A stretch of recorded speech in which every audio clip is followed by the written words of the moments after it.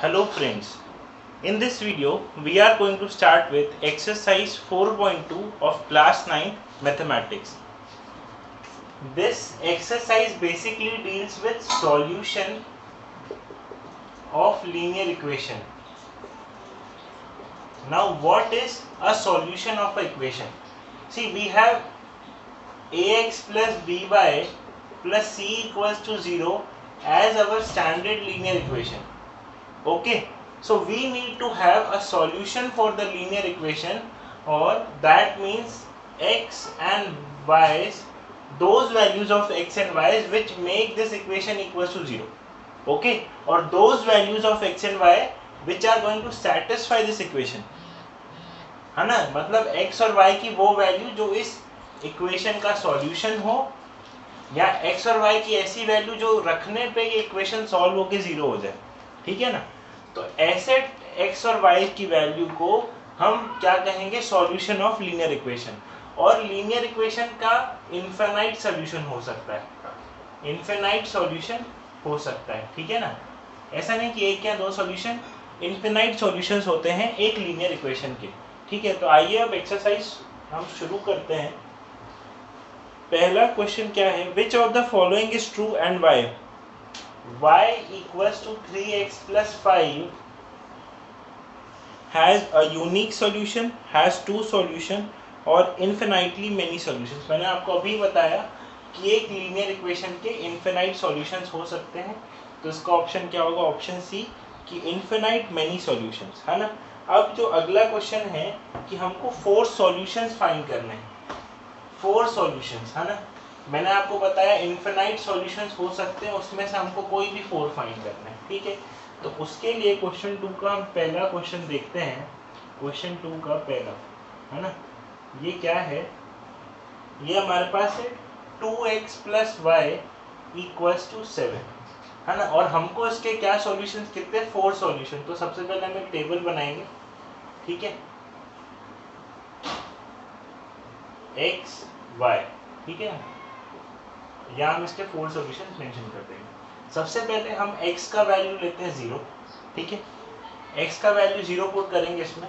Let x equals to zero two into zero plus y equals to seven zero plus y equals to seven y की value क्या है? Seven है ना? ऐसे ही हम क्या लेट कर लेंगे? Let x equals to one ठीक है ना? Let x equals to one अब x इक्वल्स टू वन पे हम सॉल्यूशन निकालेंगे। Two into one plus y equals to seven two plus y equals to seven y equals to seven two उधर जाएगा minus two y equals to five दूसरा solution हमारा क्या आया? Y equals to five ठीक है ना? फिर उसके बाद हम लेंगे let x equals to two ठीक है? अब टू पे y का वैल्यू निकालेंगे. Two two plus y equals to seven four plus y equals to seven y equals to seven minus four y equals to three ठीक है? आखिरी value three पे. Let x equals to three ठीक है? Two three ज़ा six plus y equals to seven six plus y is seven y is equals to 7 minus 6 that means y equals to 1 so, here are our four solutions. है ना, ये हमारे चार solution है, जो हमको चार सॉल्यूशन इस इक्वेशन के निकालने हैं। ठीक है? अब इसी प्रकार हम दूसरा क्वेश्चन देखते हैं इसका। क्या है? Pi x plus y pi x plus y ठीक है ना? ये है हमारा pi x plus y equals to nine करना वही है प्रोसीजर आपका वही है, बिल्कुल। हम एक एक वैल्यूज़ पुट करते जाएँगे। ठीक है ना? Let x equals to zero x equals to zero ले लिया। ठीक है ना? तो क्या होगा? Zero plus y equals to nine y equals to nine ठीक है? फिर x equals to one let x equals to one तो pi into one plus y equals to nine y equals to nine minus pi ठीक है? फिर हम देंगे let x equals to two let x equals to two pi into two plus x के plus two रखना है और कुछ plus y equals to nine y equals to nine minus two पर ठीक है? इसी प्रकार अगला क्या आ जाएगा? Nine minus three pi. ठीक है ना?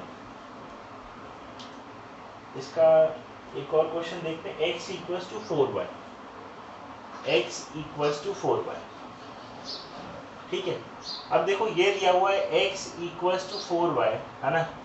अब आप ये सोचो, यदि मैं x का वैल्यू वन लूँगा, y का वन बाय फोर आएगा, x का वैल्यू टू लूँगा टू बाय फोर आएगा तो इससे अच्छा इस क्वेश्चन को मैं उल्टा करता हूँ, ठीक है? हम x की वैल्यू लेते थे, y का निकालते थे। इस क्वेश्चन में क्या करता हूँ, मैं y की वैल्यू लेता हूँ, ठीक है? Let y equals to zero तो x equals to four into zero is zero y zero तो x भी zero let y equals to one तो x equals to four into one क्या हो गया?